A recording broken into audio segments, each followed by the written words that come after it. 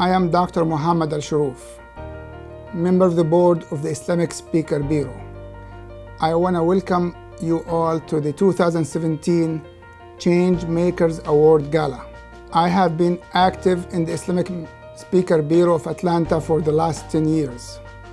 I see it as the venue for interacting with the Atlanta and Georgia community at large, showing everybody who is the Muslim community, what we stand for, where we want to take our community, and what we can contribute to the state at large.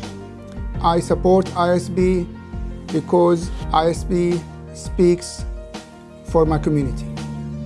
We are honoring in this gala Mr. Arthur Blank with a Lifetime Achievement Award, Dr. M. Bazara with a Lifetime Achievement Award, Bishop Robert C. Wright with the Building Bridges Award, and the Honorable Sally Yates with the Courage Award. We will be pleased and honored to have each and every one of you attend this gala at 6.30 November 4th in the Cobb's Galleria. Come hungry, come excited, and come happy.